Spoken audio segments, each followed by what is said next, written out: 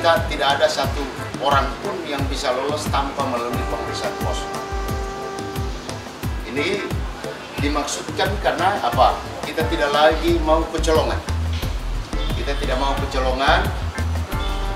Konduksivitas daerah kita ini insya Allah perkembangan tren daripada PDP yang menjadi positif ini semakin berkurang. Yang kita harapkan.